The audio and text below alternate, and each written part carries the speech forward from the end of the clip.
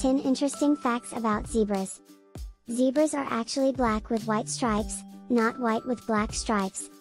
Each zebra has a unique stripe pattern, just like human fingerprints. Zebras can run up to 30 miles per hour and are very agile. Baby zebras are able to stand and walk within an hour after being born. Zebras are social animals and live in herds of up to several hundred. They are herbivores and mainly eat grasses, but will also eat bark, leaves, and twigs. Zebras have excellent eyesight and hearing, but their sense of smell is not very good. They have adapted to the African savanna by developing unique adaptations such as stripes that help to camouflage them from predators.